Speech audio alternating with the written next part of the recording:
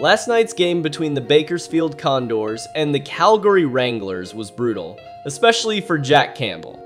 Right from the get-go, it was a hard start for the Condors. I mean, within the first minute, they're already down by one. And as the game progressed, it didn't get any easier, especially for Campbell. By the end of the first period, the Wranglers are up 2-0. It's one of those moments where you can feel the pressure mounting.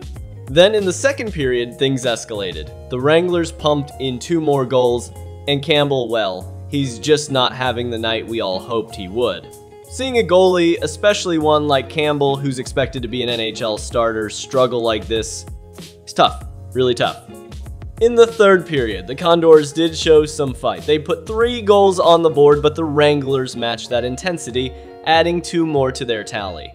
For Campbell, this game was a hard pill to swallow. We're talking about a goalie who's allowed 13 goals in just three games since being sent down to the AHL. His 4.36 goals against average and a 0.819 save percentage. Those numbers speak volumes. They're not just statistics, they're a reflection of a goalie fighting to find his game, something we all hoped would happen when the Oilers sent him down.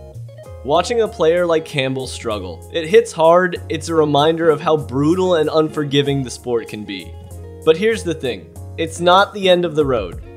Campbell has shown his skill in the past and the Condors. Well, they're a tough team. They need to shake off this game, focus on the next, and keep pushing forward.